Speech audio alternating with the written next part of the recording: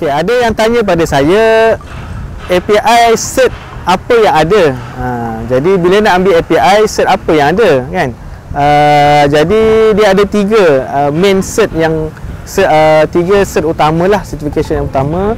Yang pertama adalah API 510. API 510 is for pressure vessel inspection.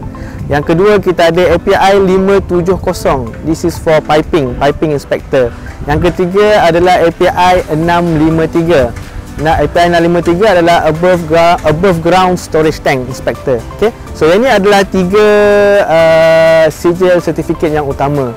Okay. So selain daripada tu ada juga sertifikat-sertifikat yang lain. Okay. Contohnya uh, RBI API 580. Uh, and then kita ada uh, corrosion and material damage mechanism API 571 dan kita juga ada uh, 936 untuk refactory uh, lain daripada tu kita juga ada 577 untuk welding inspection so tuan-tuan nak tahu lebih lanjut boleh buka dekat website uh, API dan cari ICP individual certification program. Jadi di sana ada banyak information yang tuan-tuan boleh tengok dan lihat dan kaji dan apa study lah uh, berkenaan dengan certification API